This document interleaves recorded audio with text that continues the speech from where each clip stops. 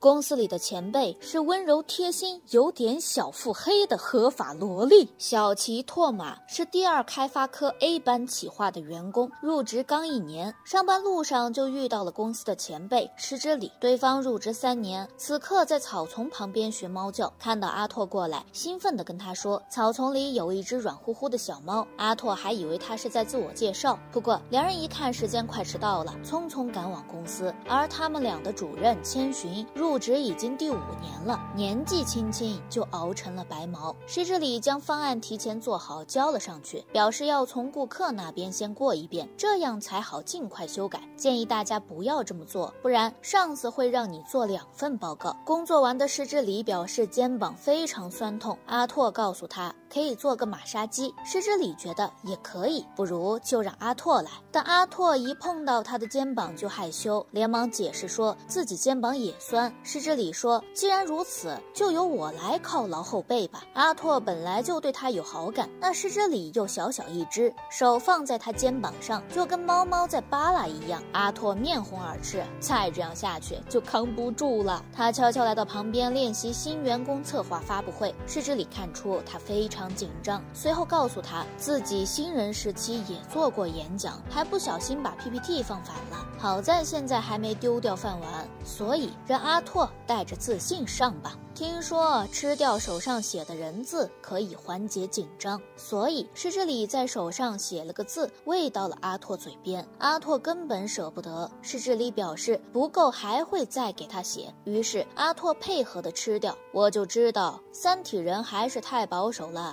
这简直就是科幻片。月底还有一个聚餐活动，阿拓抽签失败，由他来负责组织。二组的早川拒绝了参加活动，男主本来还想劝劝他，早川表示不用，他上次参加过。同事爱子探头看了他们俩一眼，问两人是不是在交往，毕竟说话态度特别随意，吓得两人赶紧解释，只是从小一起长大，家住得很近而已。阿拓坐回座位，石之礼有些意外地问他。和早川的关系很好吗？阿拓姐是只是一起长大，碰巧又进了同一个公司。他发现石之礼似乎在吃醋的样子，他甚至说了有些羡慕。阿拓以为石之礼是在暗戳戳的吃醋，却没想到石之礼竟然想和早川交朋友。他老早就觉得早川是个很有意思的人了，可是除了工作之外，两人就没有联系，所以他想拜托阿拓帮忙介绍一下。阿拓，寂寞的人唱伤心的歌。但阿拓最终还是介绍了。早川吐槽自己还挺招猫猫狗狗喜欢，毕竟石之礼都已经抱住他的手了。阿拓发现石之礼平时在公司很少指责出错的同事，石之礼觉得他们犯错本来就沮丧，自己又何必再指责？不过石之礼对阿拓却很严格，说他最近报告少了。阿拓以为自己犯错了，没想到石之礼却让他将自己平时做的努力都说说，并表示他要是不说，自己就不知道阿拓有多。努力，阿拓脸红。如果是这各种指责，他愿意多听。没想到施之礼站在台阶上，摸了摸他的脑袋。你信有这种公司前辈，还是相信我是秦始皇？阿拓本想把这段数据做完再下班，没想到施之礼递给他一杯咖啡，表示自己不小心多买了一瓶。阿拓本来想给钱，但施之礼却说这是前辈的职权。看出阿拓被数据所困，他表示自己作为前辈也可以帮忙。下班的时候，阿拓本来想请客，但施之礼说自己是前辈，所以他来请。两人争论的时候，施之礼突然打了个喷嚏。阿拓立刻把外套给他披上，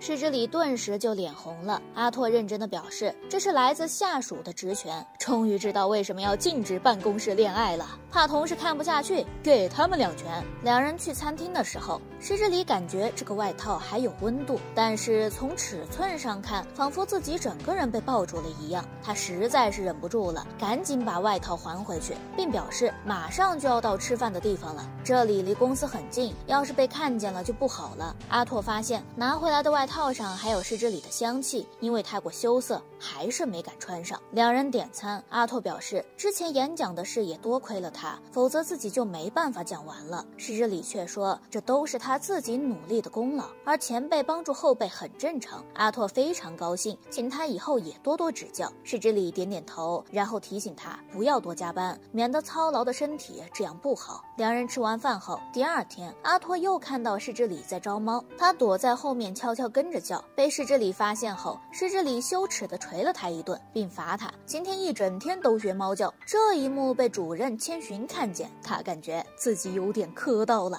石之礼和客户完成对接后，对方送了试吃的样品，他拿着回去，正好遇到在休息的阿拓。阿拓还以为不可以随意休息，正准备返回工位，石之礼却把他拦了下来，还问他兔子和熊喜欢哪个，然后就收到了一个小熊饼干。石之礼说，本来是要分给大家吃的，不过看你这么疲倦，就先奖励你了，但是要对大家保密哦。这阿拓哪里扛得住啊？第二天，石之礼发现自己竟然是第一个到公司放包。的时候不小心碰到笔，滚落到了男主的工位下方。他赶紧伸手去捡，结果男主过来只看到包，没看到人，下意识以为是这里有事。刚坐下就发现是这里在桌子下面探头，钻出来的时候还不小心碰到了脑袋，吓得男主赶紧扶住了他。此时千寻也赶到了现场，哟，大早上就这么甜蜜呀！就连早川也看见了，建议他们大白天不要在公司犟哈。曾经千寻发现男主在拜托市之里帮忙看他的方案，然后发现师之里把阿拓夸了一顿，还摸了脑袋。千寻感慨，他下属关系还真好。不过普通公司的前辈和后辈关系有这么好吗？这已经不像是普通员工了。于是千寻从那天起就顿悟了，然后他主动给。两人提供合作机会，表示自己没时间去吃料理审核，于是拜托男主和市之里过去。没时间吃饭，但是有时间跟踪两人并吃瓜，并觉得两人应该可以顺着气氛在一起。千寻差点把自己磕晕过去，正好遇到下班的早川，然后他突然意识到阿拓可能拿的是后宫剧本。一面是公司里可爱又温柔靠谱的前辈，另一面是傲娇重逢系青梅竹马。千寻非常纠结自己该支持哪一对。早川吐槽：“完全不用把我扯进去啊！他和男主一点想法都没有，只是从小认识而已。”早川发现千寻甚至还有些遗憾。千寻表示：“来都来了。”不如你跟我一起进去吧，主要是吃瓜得拉着一个人陪。千寻探头开始观望，因为定的位置还是情侣位，以为两个人人会心动。结果阿拓却说难得坐在一起，石之里满脑子都只有吃。两人还是第一次来这种店，虽然和千寻印象中有些偏差，不过看见他俩开心，他就满足了。早川发现千寻真的很开心，千寻表示他这人最喜欢支持别人恋爱，搞 CP 嘛，只有磕才是最开心的。早川欲言又止，你这家伙顶着一张帅脸在干什么呢？而此时，阿拓突然说，在窗口能看到公司的位置。石之礼因为个子的原因，怎么都看不到，人都快挤到阿拓身上了。不过他发现还是看不见，于是站起来走到阿拓身后，贴在他背后，终于以奇怪的视角看见了公司。此时阿拓面红耳赤，千寻也很兴奋。对对对，就是这个进展。而男主和石之礼吃完后，石之礼一看时间有点晚了，决定散了。男主却感慨，他还想和石之礼一起。石之礼。顿时脸红，天哪，这意思！不过阿拓完全是不经意打出暴击，还表示一会儿要把失之礼送到车站。千寻磕的人都要被超度了。第二天，早川发现阿拓竟然拿了把雨伞来公司，可是天气预报并没有说今晚要下雨。阿拓表示，今早占卜说了，黑伞是幸运物。早川十分无语，但还是没说什么。结果下班的时候，外面真的下起了大雨。阿拓感慨，这雨伞没带错。结果就在门。口遇到了没带伞的石之礼，于是他脸红的邀请石之礼和他一起打伞。好家伙，果然是幸运伞！但是你们俩这个身高差，石之礼还是会被淋湿吧？石之礼发现阿拓的肩膀淋湿了，阿拓为了岔开话题，都开始胡言乱语了。他发现自己都不知道该说什么了。石之礼看出来，他表是。不用勉强找话题，能和阿拓一起回家，他就很开心了。不过是这里吐槽，阿拓平时开会也这样，一安静下来就努力找话说呢。不过是这里也能理解，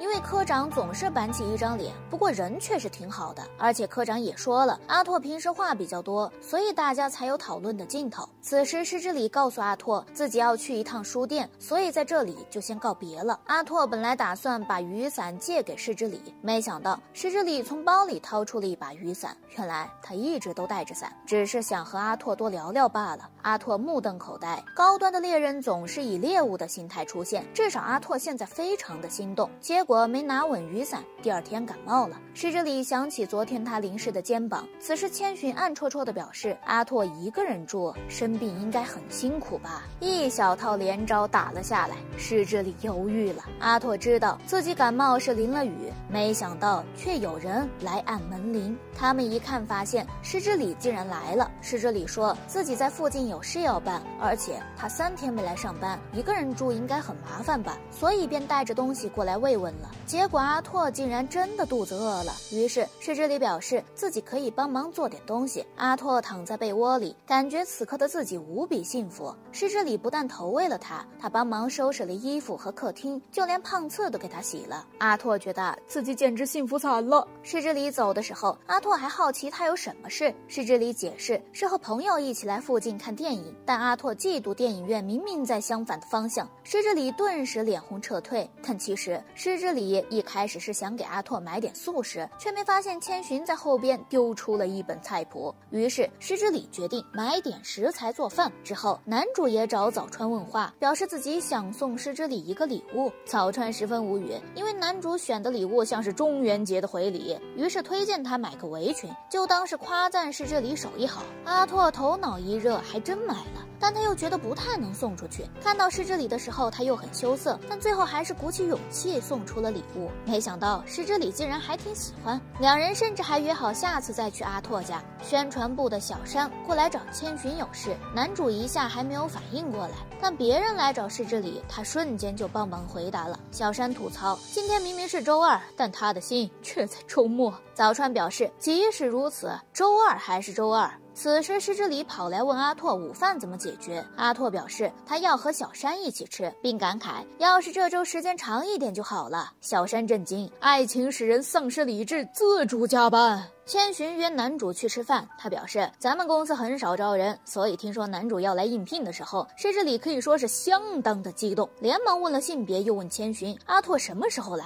搞得千寻还以为施之里在问他啥时候生孩子，所以拍着男主的肩膀就喊了句儿子。正好施之里也来附近吃饭，于是千寻便邀请他一起坐下，甚至又提起了男主刚到公司报道的时候，当时也是他安排施之里来照顾阿拓的。阿拓第一眼看到施之里就觉得他是十分娇小，像小猫咪一样。当时千寻也说石之里很激动，而石之里指导阿拓，眼神却变得犀利起来。阿拓还以为这个公司是让他故意放松警惕，然后再挑刺。看到电脑还有密码的时候，阿拓又不太敢问，不管是问早还是问晚。都怕被说。千寻记得那个时候的阿拓特别怕石之里。阿拓说，因为他太紧张了，所以做了很多无用功。石之里也感慨，那个时候他也做了很多无用功。看似犀利的眼神，实际上是在等男主提问，但是又担心千寻打趣他，所以就绷着一张脸了。发现男主遇到困难后，便主动上前。此时男主才知道，师之礼是真的担心他，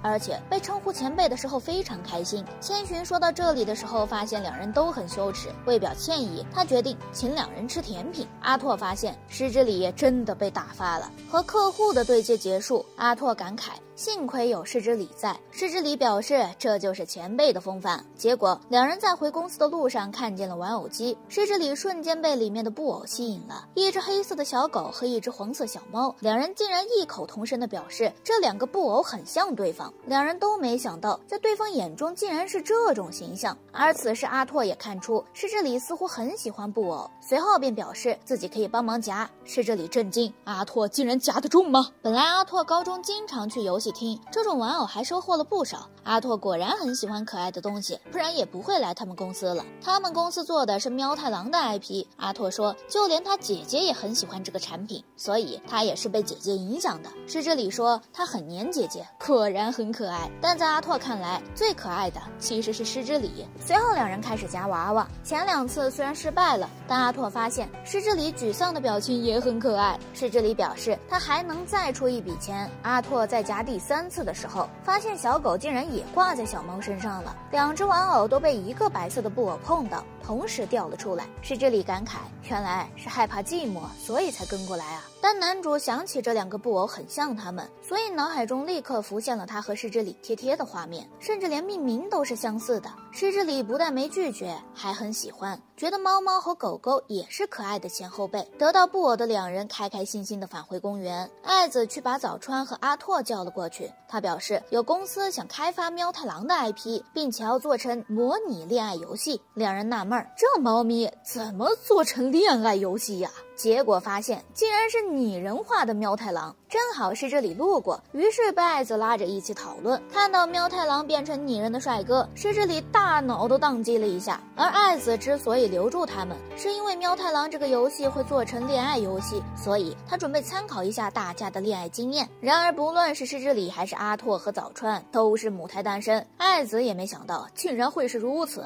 虽然感觉被扎了一下心，此时阿拓祸水东引，说早川来面试的时候。后提到看到一个像王子一样的人，早川叹了口气，还是说了起来。原来当时来面试，不小心高跟鞋断跟，千寻发现后主动去拿了胶水，还帮他把鞋跟给粘上了，甚至单膝下跪帮他穿好了鞋，还鼓励他面试一定要加油哦。早川本以为千寻是这个公司的员工，甚至琢磨要是自己面试通过了，还能不能再见到他。他将混乱的思绪甩开，进门才发现帮了自己的人竟然是面试官。三人纷纷露出八卦的表情，问早川进公司后有见到对方吗？早川欲言又止，见是见到了，但烟花这种东西果然只有在远处看才漂亮啊。石之里返回家中，看到两个玩偶，想起自己主动说要给小狗取名，然后发现。柜子里还有一根小领带，戴上之后，小狗怎么更像男主了？搞得他换衣服都下意识的转开布偶了。早川其实是一个 coser，最近在公司附近有一个漫展，他犹豫过后还是决定过去。本以为应该遇不到熟人，结果就在现场见到了千寻。最可怕的是，他还穿着 C 服。他试图装作自己不是早川，但因为叫出了名字，还是露馅了。早川非常崩溃，为什么偏偏遇到的还是千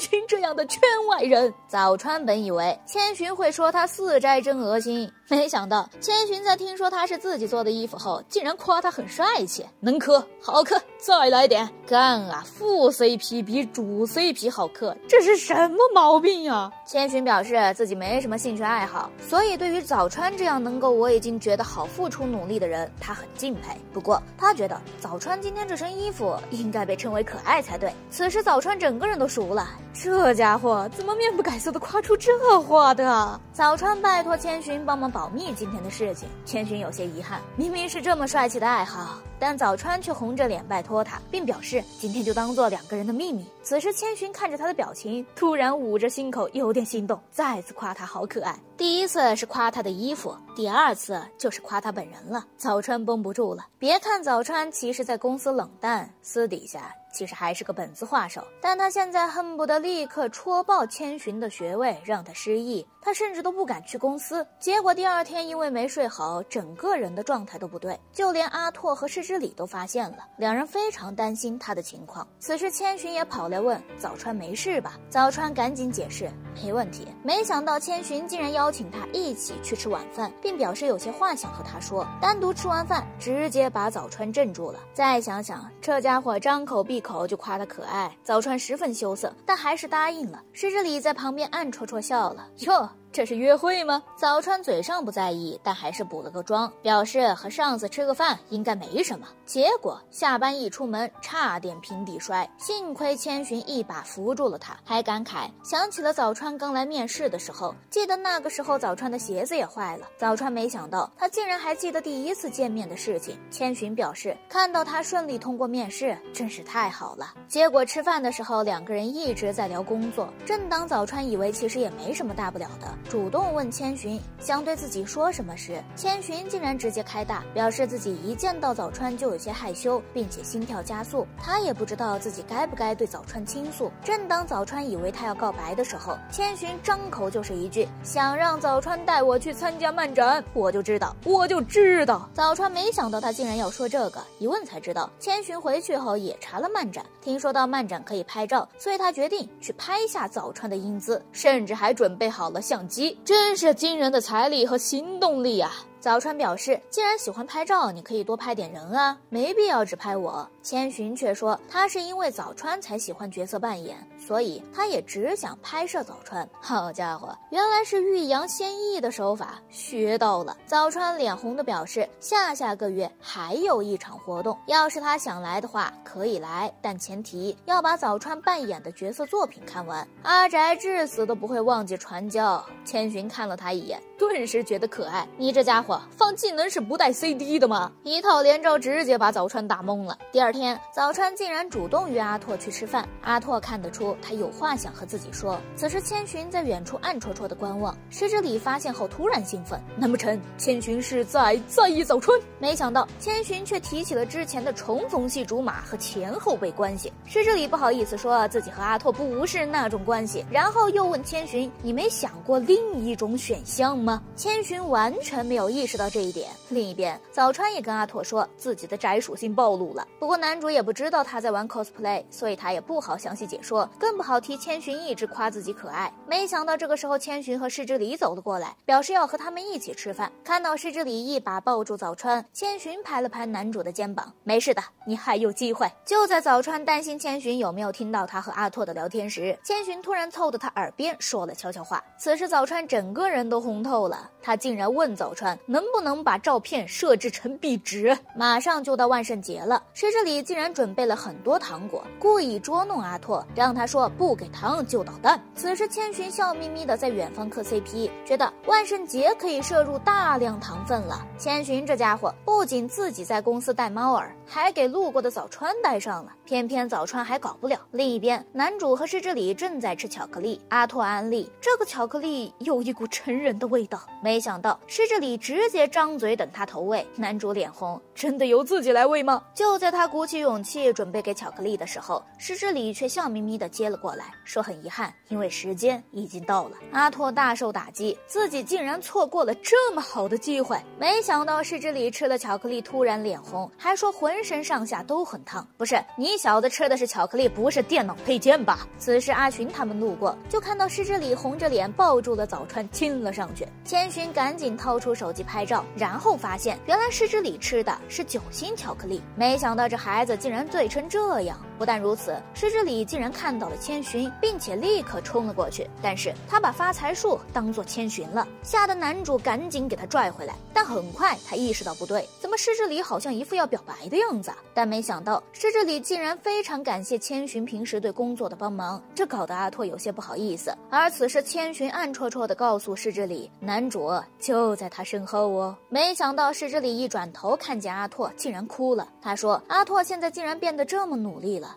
他非常的感动。毕竟一把抱住阿拓，告诉他有困难可以随时依赖自己哦。”早川和千寻在旁边疯狂开磕。石之里非常期待十二月份的圣诞节，千寻也在琢磨要送什么礼物。石之里问阿拓：“圣诞节准备怎么过？”阿拓说：“那天是正常的工作日，所以他应该是正常上班。”没想到石之里却假扮圣诞老人，表示那天会。给他准备礼物，让阿拓要做一个好孩子哦。千寻磕到了，然后问早川要不要假扮圣诞老人，被早川一口拒绝了。而师之里和阿拓对接的客户，这个时候的师之礼非常靠谱。不过离开客户公司后，师之礼看中一件非常可爱的家居服，阿拓一看兔子耳朵，就开始幻想师之礼穿上有多可爱了。没想到师之礼却说这件家居服非常适合男主。原来师之礼看的是旁边的熊耳朵，这和他们的布偶装像是情侣。服啊！阿拓吐槽，兔子服还像失之里的玩偶呢。结果失之里想起之前玩偶不小心抱在一块儿，于是脑海中出现了非常不妙的画面。此时两人都在想，这两件衣服非常适合对方，而且他们都很想看对方穿上。就在犹豫的时候，突然有采访的记者冲到两人面前，并且把他们当做了恩爱的情侣。但没想到失之里他们却说不是情侣。记者摔倒，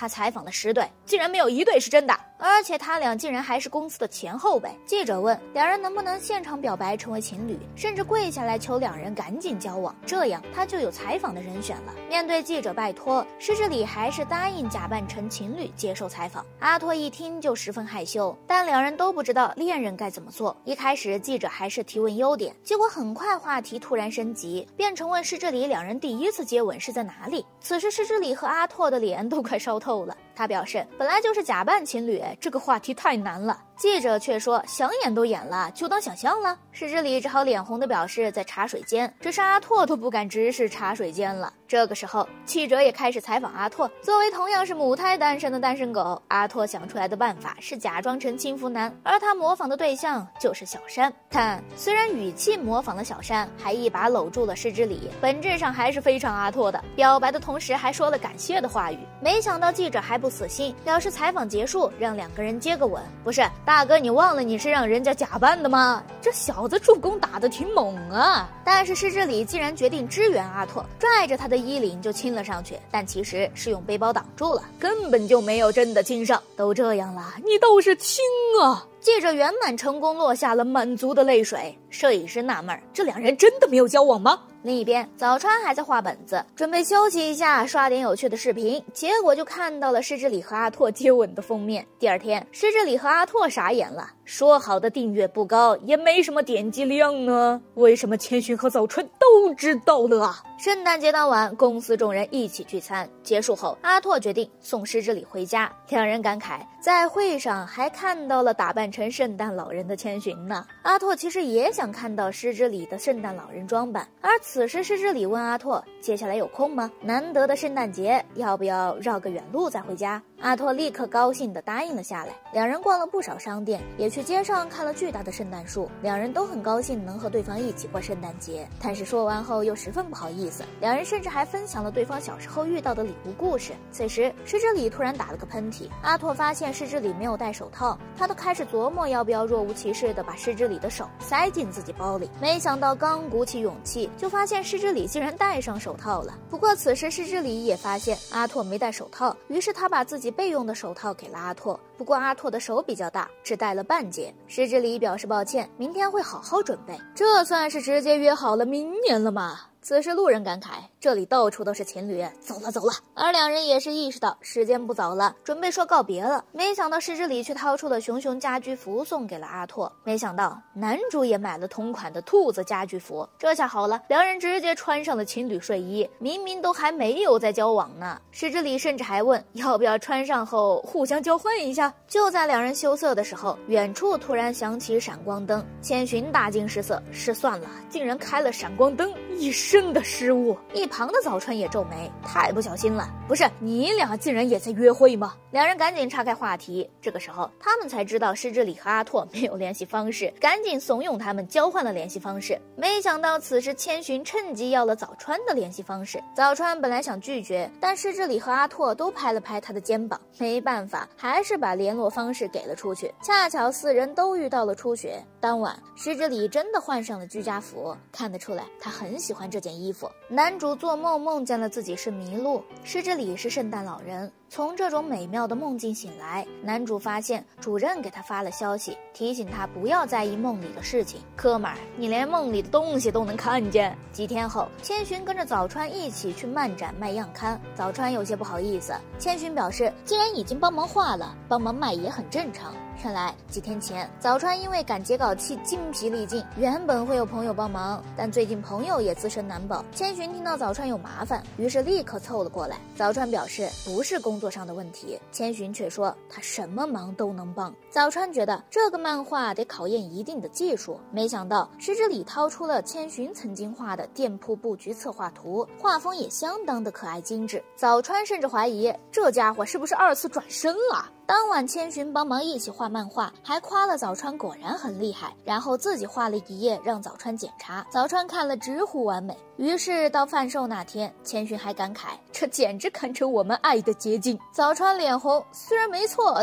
但是这种说法太容易引人误会了啊！这个时候，早川的朋友赶到现场，看到千寻，立刻表示：“这就是你的对象吗？”早川解释：“这是公司的同事，之前帮他一起画了漫画。”朋友，哇哦，竟然还是办公室恋情！此时，千寻看见朋友包上挂着的玩偶，一眼就认出了这个角色。他说是早川推荐给他看的。看两人如此亲密。于是朋友更加确定，他俩肯定在搞对象。马上就要到新年了，石之里想着好不容易拿到阿拓的联系方式，于是他给阿拓打了电话。而就在阿拓准备接起电话的时候，突然发现电视上出现了千寻和早川的采访。不过任何东西都比不上他姐石之里的电话重要。而石之里却说，今年一年都很感谢阿拓，因为有他，自己才会很努力。这两个人在这疯狂撒狗粮。阿拓也说他很高兴。石之里能成为他的前辈，两人都有些不好意思的挂断了电话。此时千寻突然给男主发个消息，他表示感受到了电波，让男主赶紧去参拜。阿拓觉得这样不错，可以去约一下石之里。没想到这一幕被姐姐看见了，姐姐猜出这家伙肯定有对象，不然这么可爱的睡衣不可能是他自己买的。他很高兴自家弟弟终于找着对象了。当天晚晚上，阿拓又做了梦，梦见石之里变成了求收养的小猫，他一伸手。石之里就凑过来蹭他，阿拓直接萌得满脸鼻血。他从梦中惊醒，然后又看到了千寻的短信，让他别在意梦里的事。而此时，石之里其实也做梦，梦见了自己变成猫，而且阿拓还伸手想摸他。虽然这个形象很羞涩，但他无法抗拒本能，于是凑过去贴住了阿拓。他甚至希望，如果自己不是猫猫，也想让阿拓摸摸脑袋。然后是这里猛然惊醒，非常羞涩，他竟然也收到了千寻的消息。不是你俩联机做梦，让外人给看见了。姐姐确定阿拓肯定是有喜欢的女生了，要不怎么一回家就笑眯眯的看着手机，还小心翼翼的观察自己的头发。于是当即对阿拓进行了测试，问他在三个动物中选择哪一个。发现阿拓对小猫咪有反应，他顿时明白阿拓喜欢的女生和猫猫很像，而且性格应该还是很温柔、笑眯眯的类型。所以姐姐决定暗中观察两人。于是参拜的时候，他跟了出去，结果就看见了小小一只穿着和服的狮。之礼，然后两人碰面后都想起了做的那个梦，实在不太好意思看对方。此时千寻走了过来，很好，磕到了。没想到早川竟然也来参拜了，而姐姐的目光落在狮之礼身上，实在移不开。天哪，这么可爱的生物啊是真实存在的吗？他冲过去一把抱住了狮之礼，表示自己是在做背调。面对如此可可爱的狮之里，已经无法拒绝。早川感慨，阿拓姐姐果然还是和以前一样，一看到可爱的东西。就无法抗拒呢。此时，千寻突然意识到了什么，他主动凑上前去问阿拓姐姐：“家里还有别的兄弟姐妹吗？”姐姐表示：“家里只有他和男主。”于是千寻怂恿他：“你难道不想要一个和狮之里一样可爱的妹妹吗？”此时，姐姐非常认同，并一把抱住了狮之里。于是千寻告诉他：“只要狮之里和弟弟结婚，姐姐就可以无痛拥拥有一个非常可爱的妹妹了。”一想到这，姐姐疯狂心动，然后把狮之里塞到阿拓怀里，问他。们俩什么时候结婚？年龄上已经过关了啊！幸亏早川及时出来控制两人。此时石之里说阿拓和姐姐关系很好。阿拓不好意思的挠挠头，说他们姐弟俩从小就互相争抢对方喜欢的东西。石之里一下想到姐姐很喜欢自己，莫非阿拓也是这样想的？没想到此时千寻和姐姐却开始询问两人。婚礼上的致辞人应该是我吧？千寻又问早川不去吗？早川表示自己不是小小一只，也不可爱。没想到千寻却摸着他的头发，说早川在他眼里就很小很可爱呀，直接把早川给拿下。在新年的庙会上，世之里十分高兴，甚至主动拉起了阿拓的手。结果两人就发现了路边走丢的小女孩。小女孩看见世之里，非常的喜欢他，冲过去就抱住世之里，两人牵着手带小孩去找家长，但。是在千寻和姐姐看来，就像像是一家三口带着小小的女儿。新年假期结束，石之里再次来到公司上班，却发现自己好像长高了一点，丝毫没有注意到今天穿了高跟鞋。他还得意洋洋地问男主有没有看出自己哪里不一样。而男主知道，如果只是表面的话，他肯定不会直接问。然后仔细观察了失之里的美甲，发现并没有变化。然后又闻到了失之里头发的香味，还以为是换了新的洗发水。失之里顿时就不好意思了，但是他还是提醒阿拓，不是头发这种细节，而是全身哦。不过说完，他也很不好意思，自己竟然让阿拓观察全身，会不会被误误以为有奇怪的癖好啊？不过很快，石之里就提醒他自己身高的事情，所以阿拓才发现他换了高筒靴。石之里意识到自己有增高鞋垫，明白自己没长高了。另一边，宣传部的小帅跑来找男主帮忙，然而石之里却告诉小帅无偿帮忙。你想得美！小帅大惊，石之里不是在开会吗？就是趁着我不在才来找男主是吧？小帅吃瘪，赶紧撤退。千寻感慨，小帅还是和以前一样啊。结果这家伙还不死心，给男主发邮件求帮忙，结果被石之里直接杀到现场逼问了。石之里表示不是不可以帮忙，但你必须得好好找过来商量。小帅这才松了一口气。早川在公司加班到晚上，没想到千寻突然探头问他怎么了。他发现早川似乎很怕一个人，但竟然还是加班到了这个点。早川吐槽，因为隔壁的小帅拜托他今天之内做完。千寻问他有向上司汇报。这件事吗？一看就知道早川肯定没问，因为小帅是下班前才拜托他，好像除了自己也没别人可以帮忙了。千寻说，即使这样，也不能擅自来下工作。作为新人，他首先要找他们商量。早川觉得自己悄悄做应该可以，千寻却说不能让他这样的好心人吃亏，所以他会去找小帅谈话。此时早川非常感动，感觉自己有被照顾到，很开心。千寻发现后，给他泡了红茶，然后发现早川似乎肚子饿了。现在时间不是很紧，于是千寻决定请早川吃饭，就当是给努力的早川一点嘉奖。工作结束后，千寻把早川带到了豪华餐厅，这家伙的财力还真是令人琢磨不透，并且还非常自然地坐在了早川身边。早川都怀疑他是不是故意的，但其实千寻完全是天然。千寻还说，早川看起来不太喜欢喝酒，所以选的店还有饮料提供。早川感慨，千千寻还真是受欢迎，肯定被表白过。不过千寻似乎很少提起自己的感情经历，因为别人都没有问过。早川好奇，要是自己问了，千寻会说吗？然后他立刻表示自己绝没有非分之想。而千寻提起恋爱经验。他说自己从小似乎就没什么特别喜欢的人，大学之前倒是和不少人交往过，但到头来都没搞清楚喜欢的含义，所以他觉得自己一辈子都谈不了恋爱了，所以才觉得支持别人谈恋爱最好玩。而此时千寻也好奇早川的恋爱经验，没想到姐姐突然从窗户外探头，原来阿拓姐姐正好也被同事约到了这边，但她实在不想和不熟的人凑在一块儿，所以悄悄溜了出来。但是一个人又太寂寞了，所以。他决定加入两人的饭局。早川发现两人凑得很近，竟然有一些发酸。此时姐姐突然注意到他的眼神，然后立刻坐到了早川身边。没想到千寻竟然主动腾出位置，他甚至都是开始磕姐姐和早川的 CP。这两人都担心打扰到对方。好家伙，这种互助互攻是什么情况？而阿拓一觉睡醒就发现姐姐管他要是这里的照片，他想起。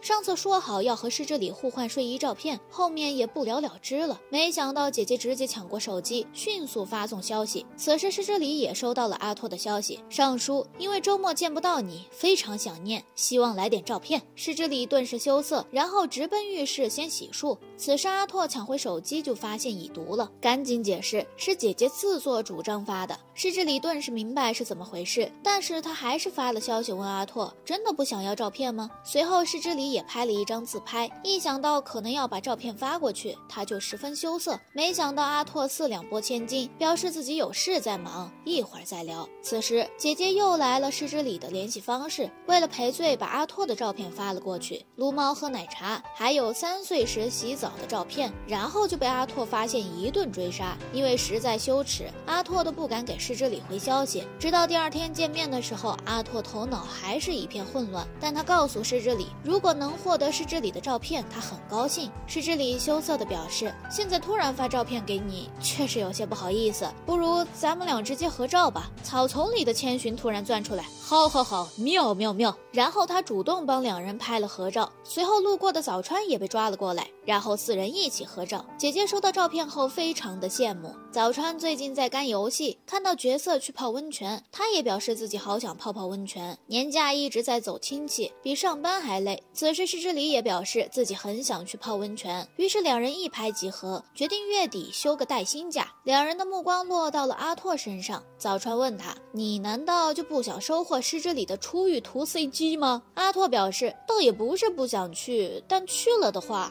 工作怎么办？”千寻暗戳戳的杀了过来：“想去就去呗，反正现在是工作淡季，而且带薪假这种东西不用就没有意义了。”于是阿拓邀请千寻也一起去，不然男生只有一个就不好了。千寻一想，什么都磕只会让他营养均衡，于是决定加入其中。于是带薪假当天，四人来到了有猫的旅馆。遗憾的是，因为失之礼性格特别像猫，所以反而没有猫猫靠近，反倒是一旁的早川，整个人都像是木天料做的猫爬架，浑身上下都爬满了猫，旱的旱死，涝的涝死。众人决定先享受一下温泉旅馆的泳池。阿拓非常紧张，在幻想失之礼会穿怎样的泳衣，没想到。竟然是成人风，黑色的泳衣非常的性感呢。阿拓一靠近石之礼，就害羞的把衣服抓拢，偏偏阿拓还不能说自己想看，怕被说成是性骚扰。而此时早川和千寻已经玩开了，而男主突然意识到，如果叫石之礼一起下水去玩，肯定能正常的看到石之礼的泳衣。万万没想到，石之礼竟然拒绝了。阿拓以为他是不想让自己看见，没想到石之礼其实是害旱鸭子。不过阿拓很快就发现了，石之里打死都不愿意承认。不过最后还是坦白了，自己小时候和父亲一起去游泳，结果因为身高找不到地，差点溺水。从那之后他就很怕水了。此时男主却邀请石之里一起下水，因为他的身高没有踩不到的水底。石之里为他鼓励，决定下水试试。然后阿拓差点看直了眼。不过他很快就冷静了下来，决定先教施之礼游泳。而此时施之礼发现自己完全没法正常游泳，整个人像是下下水的小猫咪一样。男主决定先去给他拿个泳圈，结果走到一半腿突然抽筋了。本以为池子不高不会有事，结果万万没想到遇到了危险。然而这个时候施之里却无师自通冲了过来，并且把阿拓捞起来就是一顿抽。阿拓这才缓了过来，没想到施之里却吓哭了。阿拓却鼓励施之里，他刚才就浮起来了。石之里顿时害羞的逃走。当晚，石之里和早川在温泉泡澡，两人都说好久没有来温泉了。石之里表示，虽然今天很开心，也穿上了想穿的泳装，但是感觉也丢了面子，所以准备在睡前找回前辈的面子。结果吃饭的时候就不小心喝醉了，非要喂阿拓喝汤，还不小心把汤洒在他身上。千寻这家伙坏事做尽。早川想起来，石之礼刚才说要挽回名誉，阿拓一时间又开心又有些紧张。没想到这个时候，早川和千寻却表示他们要去泡露天温泉，强行给两人腾了空地。石之礼还嚷嚷着要投喂阿拓，没办法，阿拓只能让石之礼满足个够，这样他才会老老实实睡觉。于是阿拓接受了石之礼的投喂，没想到石之礼还要给他刷牙，甚至还让他吸枕刷牙，把男主折腾的都够呛。早川他们回来拿东西，男主下意识的带着石之礼藏了起来，结果两人一直在找东西，男主不小心在柜子里发。出了动静，此时门外的两人已经听见了。然后是这里竟然迷迷糊糊的醒了，冲过来就一把抱住男主。此时门外的早川再次听见声音，千寻忽悠他。这里曾经闹过鬼，早川吓得要死，还以为两人的失踪和鬼有关系。而石之礼听到早川的声音，下意识就想开门。男主害怕被发现，于是用被子蒙住了石之礼。于是早川就看到一团被子走了出来，他吓得发出尖锐爆鸣，然后拉着千寻跑了。男主发现石之礼睡着，于是将他抱到了床上，结果却发现石之礼挽着他的脖子不肯撒手。此时早川和千寻已经拉着店长冲了过来，正好就撞见了这一幕。千寻立刻打电话通知姐姐，可以准备红豆饭了。姐姐惊喜，原来要结婚了吗？回到工作岗位，男主和石之里遇到了大危机。他们躲在柜子里面，看见一对情侣在外面亲亲。事情为什么会变成这样，还得从千寻这家伙说起。因为喵太郎 IP 三十周年，他们要举行周边展览。千寻让男主和石之里一起去仓库搬运展览物品，说是三十年前的老周边。两人找了半天，千寻发来了消息，收东西可能在柜子上。于是两人往柜子方面去找。早川发现千寻笑得不太正常，千寻表示可能有大量糖分的摄入了。而此时两人正在后面的柜子找东西，突然有两个人走进了房间，他们以为屋内已经没有别人了。石之里看了一眼，这不是隔壁宣传部的百合与吉田吗？此时石之里意识到传闻可能是真的，这两人直接抱着亲了一口，两人顿时开始吃瓜。万万没想到，两人亲了一口还不愿意走，他们甚至还往男主方向走了过去。于是两个人一着急躲进了柜子里，外面两个家伙还在亲亲。此时石之里和男主挤在一块儿，正在思考他们俩什么时候能走。莫非还要在公司里做奇怪的事情吗？男主心说，好歹是在公司里，应该不至于这么离谱。然而两人离得非常近，头顶的书差点掉了下来。石之里下意识伸手接住，两人几乎完全贴在了一起。再这么下去，比 AK 还难压。所以阿拓提醒石之里，刻意在群里发消息通知两人到五楼，这样才可以把人给引开。问题是石之里刚才躲进来的时候，把手机放裙子包里了，偏偏他现在还不能撒手，不然头顶的书肯定会掉落，然后只能由阿拓来伸手拿手机。两人十分羞耻，不过最终消息还是成功发了出去。门外的两人看到消息后便匆匆离开。石之里和阿拓走出柜子，面红耳赤，同时他们也拿到了资料。两个人都十分羞涩，不敢对视。而千寻突然感觉到有一口糖到了嘴里。当天晚上，石之里和阿拓都没能睡着。第二天，两人来公司都无比困倦，甚至都不敢对视。千寻知道肯定有什么进展了，于是他给姐姐发了消息，两个 CP 头子凑到一块了。阿拓实在无奈，但没想到姐姐竟然闻到他西装上有石之里的香味儿，立刻猜出两人肯定被关在柜子里，紧紧贴在一块。阿拓震惊，他姐什么时候这么敏锐了？好不容易忘记柜子里的事情，又被姐姐提醒了。男主下定决心，今天一定要好好工作。此时石之里通知他一起去总务部。不过阿拓看到石之里还是会脸红，只是他发现石之里似乎还和平时一样。难道对方只觉得这是意外吗？但要是石之里和他一样很羞涩的话，那是不是说明他也很在意自己？于是阿拓提出下班后想和石之里单独谈谈。石之里有些不好意思，但还是答应了。结果吃吃饭的时候也很紧张，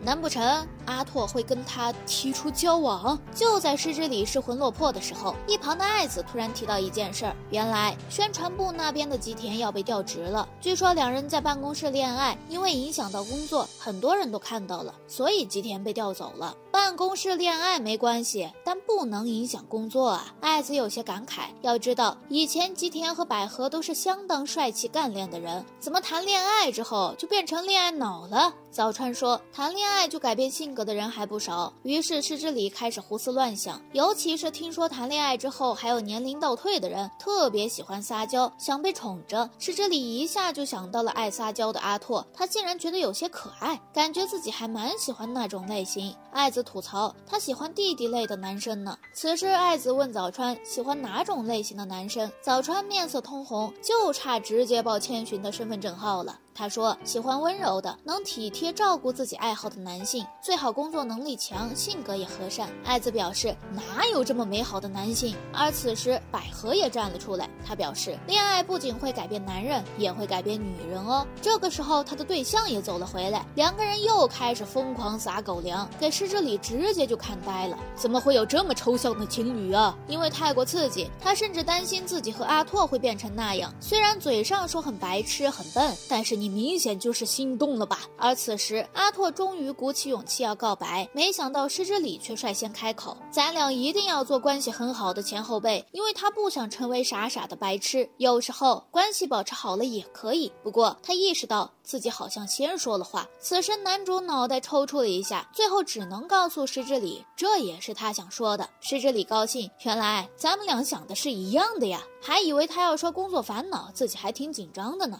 好，到这里就完结了。那么本期视频到这里。公司成立四十周年，即将举办新人大赛。石之礼说，是入职第一年的新人参加公司内部的比赛。听说千寻就在新任时期提出策划案，并得到了最优秀奖。当时推出的产品成了公司最佳，并且拿到了当年最佳员工。不知为何，阿拓竟然有些同情那一年的新人。千寻露出了得意的笑容。而今年的题材竟然是喵太郎的新型营销方案，而本次最优秀奖的得主部门将。获得超豪华大礼——冲绳高级度假旅游村之旅。你要说这个奖项，那男主是非拿不可了。毕竟他也想看失之礼穿泳衣，而且还想和大家一起去玩，所以男主看起来干劲满满。隔壁组的小山听说了，但他表示自己不想参与，因为谈起他们宣传部，一个小帅天天只知道求别人帮忙，另外两人是情侣，每天忙着贴贴，他感觉自己根本无法享受度假。小山竟然无比羡慕男主。他拥有五星前辈和五星上司，小山的考虑要不要换号重来了。此时，是这里路过，和阿拓打了声招呼。小山发出了嫉妒的声音。同样是新人，拿同样的工资，为什么落差却这么大？如果有这样的前辈，他也愿意每天工作呀。不过，小山也好奇两人的关系，结果听说两人什么都没发生。小山露出了不敢置信的表情。难不成你们私下还有别的关系？快！快把我纯洁的男主还回来呀！此时，同为开发一科的朱莉找到男主小山一下想起这个人，据说是表演性人格精英科长培养出来备受瞩目的新人，也是同期评价最高的新人。大家都说朱莉很有可能获得此次新人大赛最优秀奖。朱莉听说男主和失之礼的关系，一开始怀疑是职权骚扰，小山赶紧解释他们俩在恋爱。男主立刻表示并没有这回事儿。不过朱莉觉得办公室恋爱也不行，但是小山据理力争，两个人立刻发出了对战的气息，眼看就要打起来了。这个时候，第一开发科的科长走了过来，朱莉看到科长英司，顿时露出了高兴的表情，而英司竟然和千寻。是同期生，男主顿时想起了那一届好像都挺惨的。因此说千寻的实力非常强大，几乎囊括了所有大奖。他光是追逐千寻的背影就已经竭尽全力，结果回过神来，自己成了历届晋升最快的新人，千寻反而变得籍籍无名。但他不会忘记自己被千寻鼓励而提升自我的时光，所以因此觉得自己是需要千寻的。而且他已经和社长谈好了，如果朱莉能够拿到最佳新人奖，校长就会让千寻。转岗去第一课，小山吐槽：为什么千寻突然变成众人争抢的主角了？因斯不觉得男主能赢过朱莉，但是男主也不想把千寻让出去，所以他决定更加努力。于是两边放完狠话就走了。男主下定决心回去问千寻，结果发现千寻和石之礼正在悠闲的喝茶。几天后，众人拿着喵太郎的玩具去幼儿园进行调研。阿拓想起自己还没把千寻的事告诉给石之礼，不过他的目光无法从像妈妈一样。的矢志里身上移开，这种人妻感是怎么回事啊？早川提醒男主赶紧工作，而此时施哲里也在暗中观察阿拓，他觉得阿拓身上有一种父亲感，看起来仿佛婚后的丈夫一样啊。千寻露出笑眯眯的表情，嘿嘿，又磕到了。这个时候，两人发现有个小女孩在和其他孩子抢玩偶。阿拓意识到那个男孩可能是想和女孩玩，不过被揭穿后羞涩的逃跑了。而两人决定陪小女孩一起玩。此时，小女孩说要玩过家家，于是拉着阿拓表示要她的丈夫。石之礼以为他会被拉过去当妻子，然后三人组建一个幸福一家。没想到小女孩让阿拓当丈夫，没错，但却让石之礼当猫咪了。虽然猫猫也能算家庭的一份子。当小女孩把食物端。到阿拓面前时，化身猫咪的石之礼冲了过来。小女孩竟然让他坐到男主膝盖上，要是没坐就直接躺好了。好家伙，原来是顶级助攻！小女孩还让阿拓伸手去摸猫猫，两人十分羞涩的对视，然后什么奇怪的 play 都玩了一遍。在沙坑的时候，男主下意识把石之礼当妻子角色了。此时那个小男孩又跑回来了，甚至破坏了沙坑里的城堡。男主十分无奈，小男孩就是难搞，但他还是告诉这小孩一件事：对喜欢的人一定要温柔啊。男孩这才道歉，表示要重新帮他堆城堡。没想到女孩却不接受，还说想一起玩。可以，你来当那个讨厌的鲨鱼。好在最后众人离开的时候，两人已经和好了。石之里想起男主对小男孩说的话，突然反应过来，男主一直都对自己挺温柔的。难不成阿拓其实对他有好感？这天，石之里在办公室加班，遇到了同样在加班的阿拓。与此同时，隔壁小山也发现朱莉正在加班做方案，他分了一杯咖啡给朱莉，并告诉她有些东西可以随意敷衍过去。不过，朱莉为了因斯的理想，决定更加努力。另一边，众人也发现男主最近状态非常颓废，虽然他嘴上说没事儿，其实压力特大。第一次在工作上和其他人有竞争压力，毕竟还要守护千寻呢。压压力大的甚至想休息一段时间，可是这种话实在无法对失之礼说出口。此时失之礼又写了人字要喂他，并鼓励他不用害怕受挫，努力争取就可以了。同一时间，朱莉也得到了因斯的夸奖。对方表示他的报告做得非常不错，接下来只需要放上一张合适的插画。他相信朱莉一定能够做到。而男主刚刚打起精神，从厕所离开就撞到了正在哭的朱莉。男主觉得朱莉可能压力太大了，面对女孩子在面前哭，他也于心不忍，于是主动找到施之礼谈话，提起了第一课的朱莉。没想到施之礼竟然也认识朱莉。阿拓表示对方的压力可能很大，如果施之礼遇到的话，可以安慰。一下对方，不过他又担心自己多管闲事。不过石之礼却答应了下来。果然，温柔的人总会和温柔的人相遇。当晚，朱莉正在努力工作，石之礼却悄悄来到她身边，丝毫不顾朱莉对第二课的防备，还和她聊起了喵太郎的挂件。因为石之礼也非常喜欢喵太郎，所以两人很快就聊了起来。石之礼觉得朱莉这么喜欢喵太郎，这次新人大赛一定也会很努力。朱莉问石之礼会不会有不懂的工作，石之礼表示那可太多了。此时，朱莉才拿出自己画的插画，她说自己其实并不会画画，隐藏了一。年，但现在恐怕藏不住了。但她不想让大家失望，所以日复一日的开始练习。但她怎么都画不好。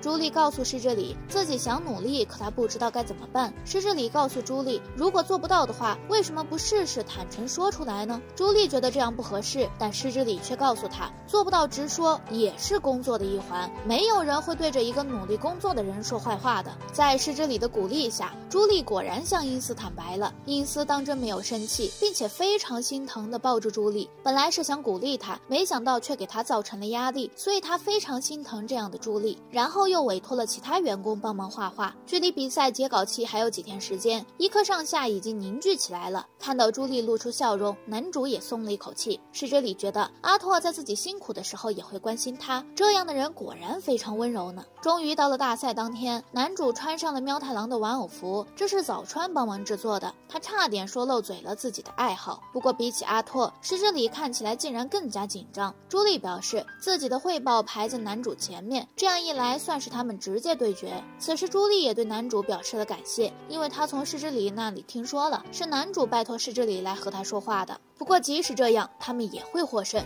一定不会输的。此时男主也点头说他们会赢，绝不会把千寻让出去。两边都鼓起了勇气。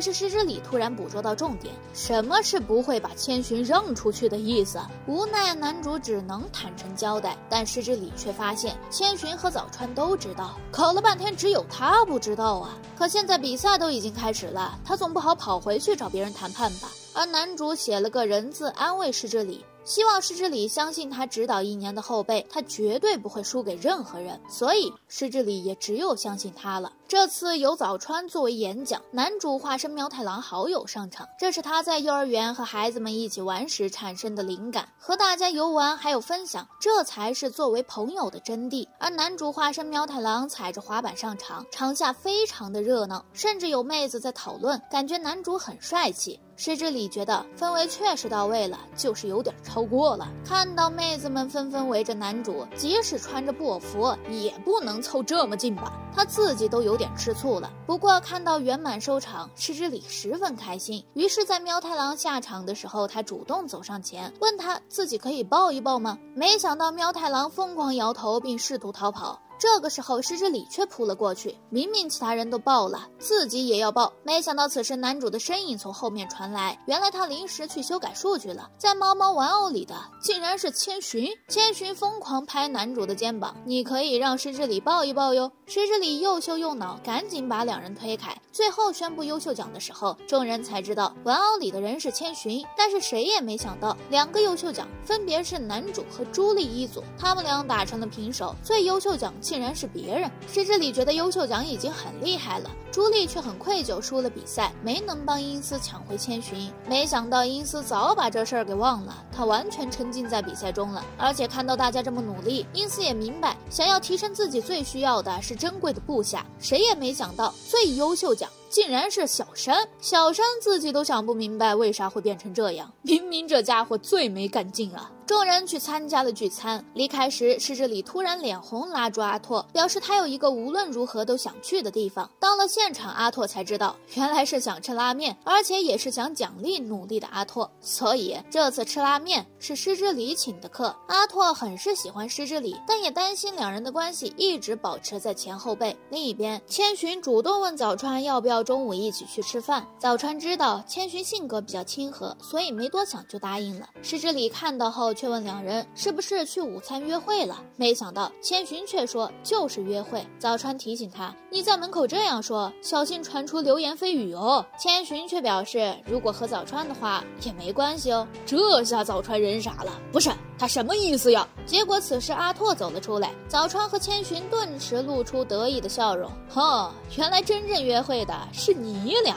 晒得黢黑的小山给众人带来了土特产。这次度假，小帅疯狂被人搭讪，调职的吉田特意请假来陪百合旅游。小山明明是在度假，却玩得一点都不开心。而这个时候，爱子竟然找了过来，他表示之前的喵太郎恋爱游戏已经做好了，诚邀各位好友一起来试玩。游戏是以女生的视角来攻略喵太郎。明明是喵太郎，却不喜欢吃鱼，反而还很喜欢吃坚果。这个时候，朱莉听说有喵太郎的游戏，她立刻露出了期待的表情。结果就看到了拟人化的喵太郎。怎么说呢？给我变回去啊！作为原作党，朱莉非常不认同。不过艾子却表示要开拓新粉。小山表示完全不用在意他俩，咱们继续往下玩。然后就看到喵太郎在天台和主角独处。阿拓他们觉得应该还没到表白的时候，可是小山觉得他们都在天台独处了耶。这话一下让施之礼和阿拓想起了之前的事，总觉得这一幕怎么似曾相识呢？果然，就听见喵太郎说：“让我们一直做关系好的前后辈吧。”小山觉得这是没表白就被甩了。此时，石之礼面露惊恐，这不是他想传达的意思呀。他现在很担心男主也是这种感觉，而男主后知后觉，什么果然是那种意思吗？此时两个人都很纠结，而爱子却说：“不用着急，我觉得自己也意识到了，离结局还早着呢。而且他们还没有告白，现在还没有发出至关重要的一击。难道